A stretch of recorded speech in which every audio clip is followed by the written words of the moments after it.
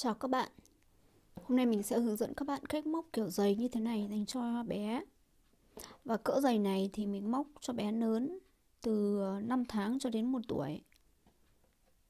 Và hôm nay thì mình sẽ hướng dẫn các bạn cách móc loại giày nhỏ như thế này dành cho bé mới sinh. Que móc mình sử dụng ngày hôm nay là que móc số 4 Nen thì các bạn uh, nên lựa chọn loại nen dành cho baby ở chiếc đôi giày này thì mình dùng nen dành cho baby, cho nên rất là mềm mềm và không quá dày. Còn ở chiếc giày này thì mình không sử dụng nen cho baby mà mình mình sử dụng nen thường. Đầu tiên các bạn sẽ móc lên 9 mũi móc xích. Một, hai, ba, bốn, năm, sáu, bảy. 8 9 mũi. Uhm, nếu như mà các bạn uh, muốn đôi giày to hơn thì các bạn sẽ móc cái hàng móc xích này dài hơn. Và các bạn có thể đo chân của bé sau đó các bạn móc hàng móc xích này. Tiếp đến mình sẽ chừa qua hai chân mũi và mình sẽ móc vào chân thứ ba này từ kim trở xuống. Thì đây chính là chân thứ ba. Mình sẽ móc hai mũi móc nửa kép chung một chân. Một 2 Ở 5 chân tiếp, Các bạn sẽ móc mỗi chân một mũi nửa kép. 1 2 3 4 5 mũi nửa kép và chân mũi cuối cùng này thì mình sẽ móc 6 mũi nửa kép một. Hai. Ba. Bốn. Năm. Sáu mũi nửa kép. Sau đó mình sẽ móc sang cái mặt đối xứng này. Ở năm chân mũi mình sẽ móc 5 mũi móc kép à, xin lỗi các bạn 5 mũi nửa kép. 1 2 3 4 các bạn có thể nhìn đối xứng nhé. Ở đây mình sẽ móc 5 mũi thẳng với 5 cái mũi này. 1 2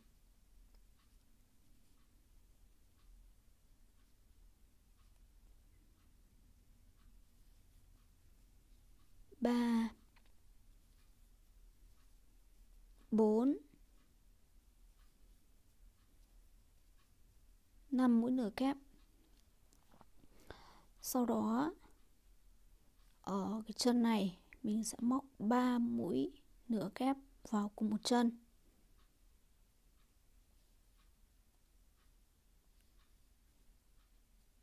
Một. Hai.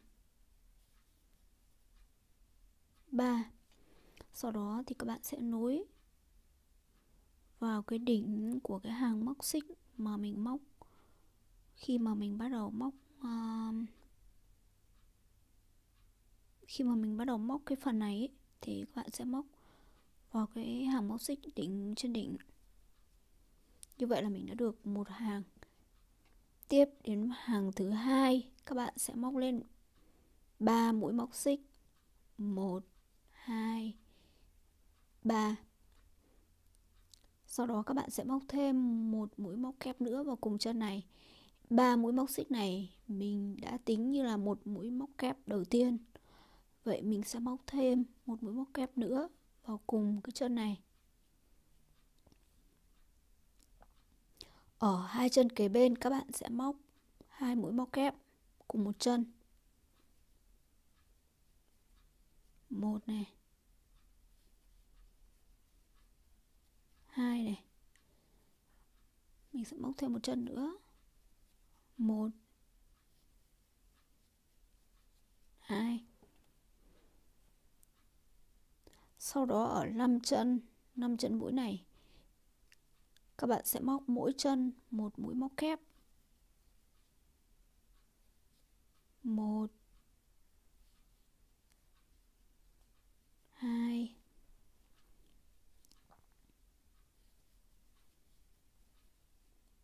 Ba. Bốn.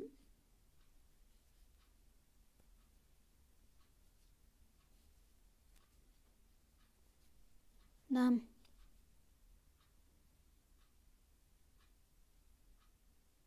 Các bạn sẽ móc 6 6 chân mũi kế tiếp này. Các bạn sẽ móc hai mũi móc kép chung vào một chân.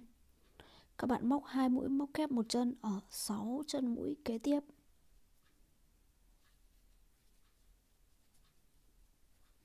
Đây là một chân này. Chân thứ hai này.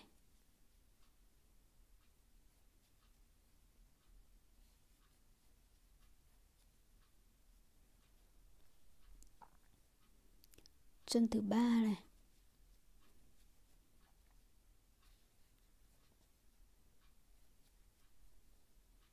chân thứ tư này.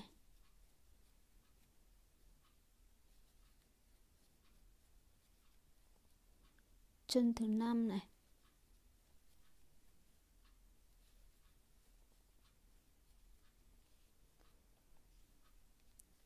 Chân thứ sáu.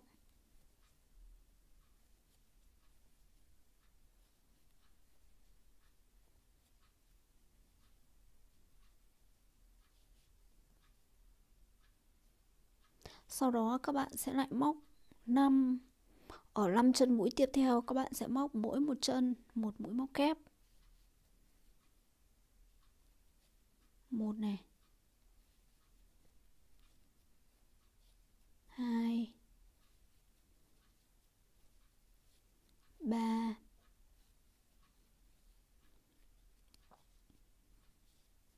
Bốn. 5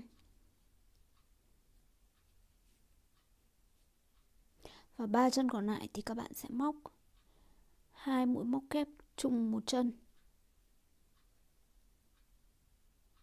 Các bạn sẽ móc ở ba chân còn lại này. Ở đây mình đã móc được 5 mũi nhá 5 mũi ở 5 chân này.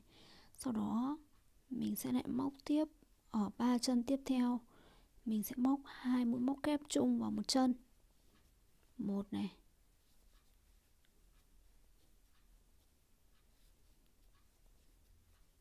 Hai này.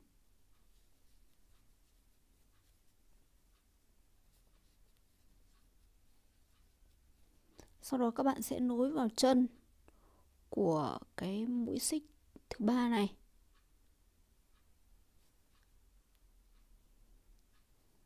Như vậy là mình đã móc xong phần đế giày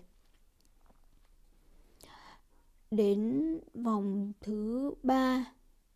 Các bạn sẽ bắt đầu móc sang phần thân của giày. Mình sẽ bắt đầu bằng 3 mũi móc xích. 1 2 3 ở đây, mình sẽ móc mỗi một chân mũi một mũi móc kép. Và các bạn lưu ý là mình sẽ móc vào mặt sau của chân mũi. Chân mũi thì có mặt trước và mặt sau. Thì ở đây mình sẽ móc vào mặt sau như vậy để mình đã tạo cái đường gò giữa phần đế giày và phần thân giày. Các bạn móc lần lượt như vậy. Mình sẽ chỉ móc vào mặt sau của mũi móc thôi.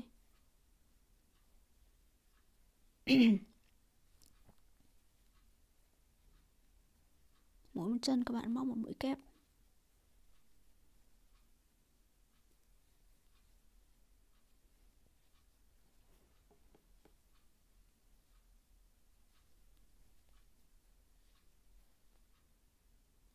Ở đây mình sử dụng đen thường và sáng màu để cho các bạn nhìn cho dễ. Chứ đúng ra thì móc giày cho bé sơ sinh thì các bạn nên chọn à, những cái loại đen dành cho baby. Và các bạn dùng à, que móc à, tùy theo đen. Nếu như mà nen nhỏ thì các bạn dùng que nhỏ một chút.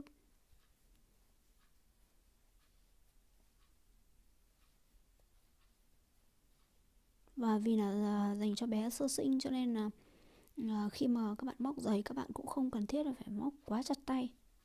Các bạn móc vừa vừa tay thôi, không cần phải móc chặt.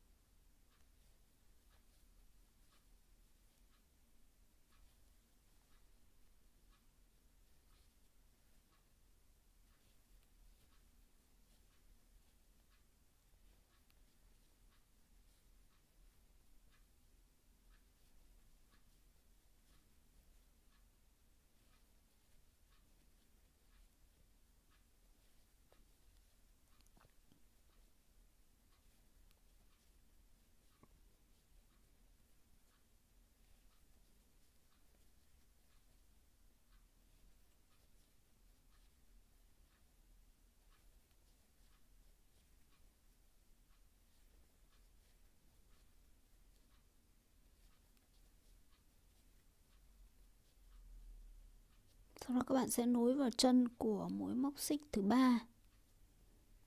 Như vậy là mình đã móc được hàng ranh giới giữa đế giày và phần thân giày. Các bạn móc, nếu như mà các bạn móc à, đúng ấy, thì cái đế của giày nó sẽ phẳng như thế này. Sau đó mình sẽ móc đến vòng thứ tư.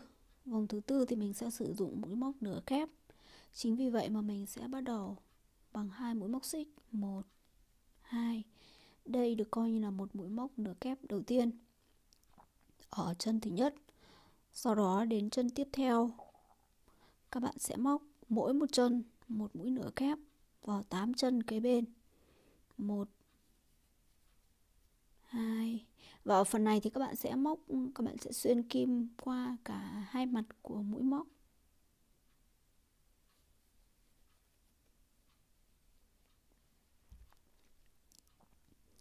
Ba này, bốn này, năm này,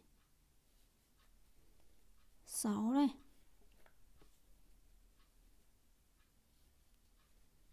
Bảy này. Tám này. Đây, mình đã được 8 này. Các bạn sẽ đếm xem là có bao nhiêu mũi nhá. 2, 4, 6, 8 8 sẽ thẳng với đây.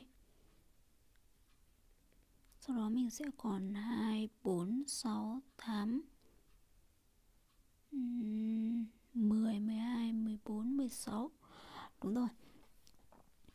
Như vậy là mình đã móc được 8 mũi nửa kép ờ, ở 8 chân mũi. 2, 4, 6, 8 Và bây giờ thì mình sẽ bắt đầu móc để để cho cái phần uh, phần uh, phần uh, chóp này phần mũi giày này nó nó khum lại. Mình sẽ bắt đầu thu mình sẽ thu hai mũi vào một chân. Các bạn sẽ móc hai mũi vào một chân mũi hai mũi nửa kép nhé các bạn uh, sẽ quấn và các bạn sẽ rút len này một lần này. Sau đó các bạn sẽ lại quấn len vào kim và các bạn sẽ đâm vào chân mũi và khi mà trên kim có 5 sợi, có 5 sợi thì mình sẽ rút cùng nhau. Như vậy là mình đã thu được một chân mũi. Các bạn sẽ lại làm tiếp như vậy. Các bạn làm như vậy 8 lần. Các bạn lấy nen vào kim này, sau đó các bạn sẽ xuyên kim vào chân mũi. Các bạn sẽ quấn nen. Các bạn sẽ kéo lên và các bạn sẽ không rút. Các bạn sẽ giữ lại. Sau đó mình sẽ lại quấn nen tiếp này mình sẽ lại xuyên kim vào chân mũi này. Và khi mà chân kim có 5 sợi thì mình sẽ rút này. Như vậy là mình đã làm được hai lần này.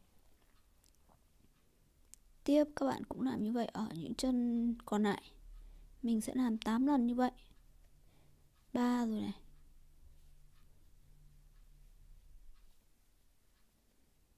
Bốn này.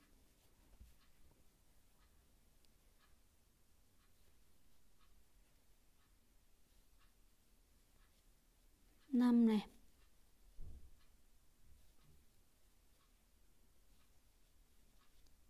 Sáu này.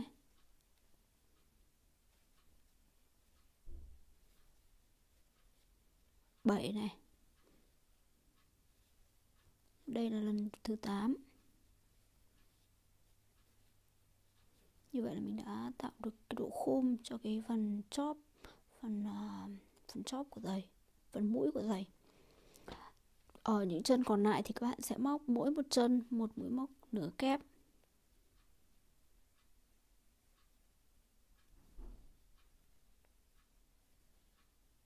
Các bạn móc như vậy cho tới hết cái hàng, cái vòng thứ tư này.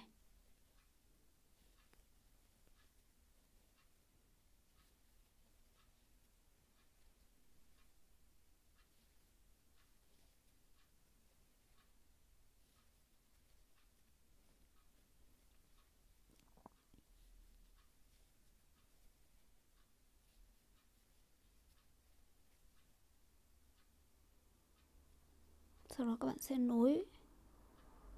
Vì là đây là cái hàng nửa kép, cho nên các bạn sẽ nối vào chân của mũi xích thứ hai. Như vậy là mình đã được 4 vòng. Bây giờ đến vòng thứ năm thì các bạn sẽ móc lên hai mũi móc xích. Một, hai. Sau đó móc. Các bạn sẽ móc ở những chân mũi tiếp, các bạn sẽ móc mũi nửa kép mỗi một chân, một mũi.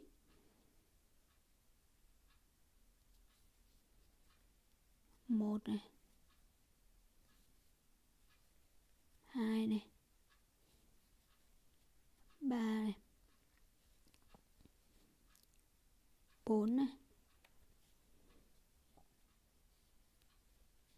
Năm này. Sáu này. Bảy này tám này các bạn cũng lại đếm mình không nhớ mình không đếm cho nên. Hai, bốn, sáu, tám này. Một, hai, ba, bốn, năm, sáu, bảy, tám. Các bạn sẽ móc 10 mũi. 8 này. 9 này. 10 mũi nửa kép ở 10 chân. Sau đó các bạn sẽ móc 5 mũi móc kép đôi vào năm chân, các bạn sẽ móc 5 mũi, móc kép đôi và các bạn lưu ý là mình sẽ chỉ rút hai lần thôi. Các bạn cuốn len lần thứ nhất này, cuốn len lần thứ hai này, vào chân mũi này, sau đó các bạn rút một lần qua hai sợi này. Các bạn rút lần thứ hai qua hai sợi này, sau đó các bạn sẽ giữ lại. Và cuốn len mình sẽ móc tiếp đến mũi thứ hai, một này, hai, sau đó các bạn cũng giữ lại này tiếp đến mũi thứ ba, các bạn cũng rút hai lần thôi. Một lần này, hai lần này. Mũi thứ tư, các bạn cũng rút một lần này, hai lần này.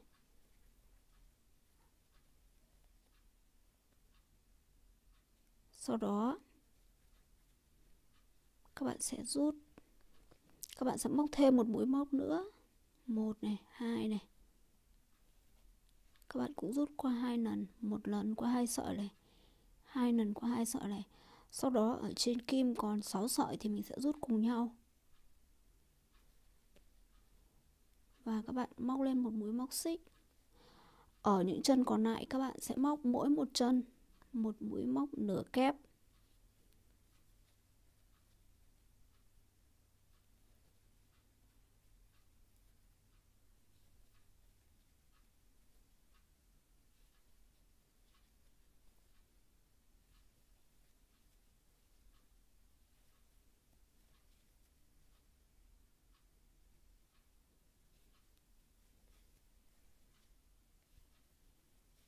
Ờ, ở 10 chân còn lại này, các bạn sẽ móc mỗi một chân một mũi móc nửa kép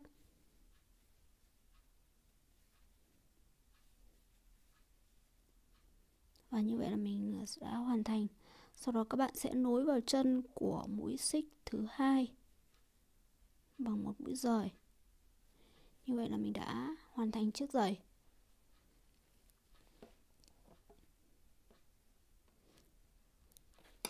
các bạn sẽ cắt len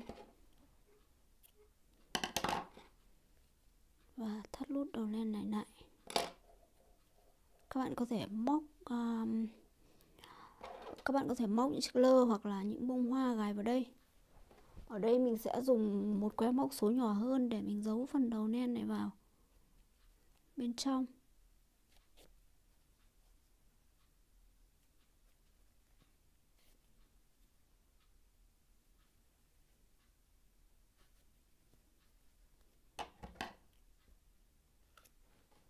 Vậy là mình đã hoàn thành.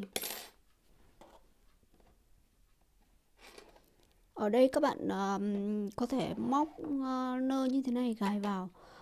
Ở cái phần móc nơ thì mình đã hướng dẫn các bạn ở video trước. Chúc các bạn thành công.